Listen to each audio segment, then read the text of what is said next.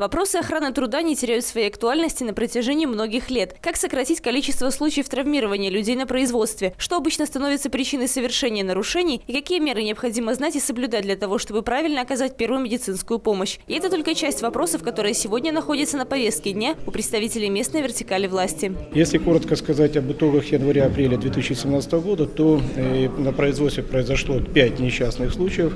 Если посмотреть их расшивку, то это травмированы 3 водителя, один бетонщик и один монтажник. По каждому из данных э, происшествий будут сделаны выводы. У нас определены по городу Бресту 10 предприятий, э, на которых мы проводим всегда обучающие семинары.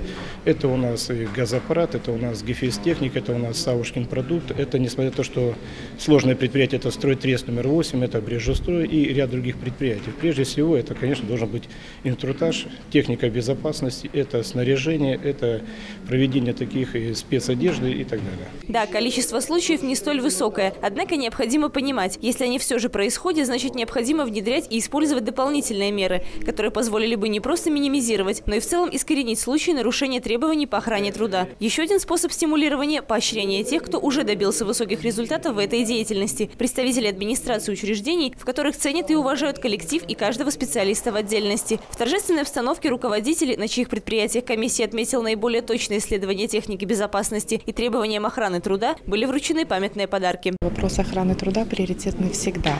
А, если честно, как бы результаты были неожиданными, потому что у нас в районе, в Ленинском районе города Бреста, абсолютно все учреждения образования каждый год участвуют в этом смотре конкурсе. Поэтому мне очень приятно и неожиданно было узнать результаты о том, что мы как бы признаны лучшими. Изначально, наверное, даже для нас это тоже был достаточно сюрприз. Мы не ожидали таких результатов. Э, как к этому, наверное, специально не готовишься.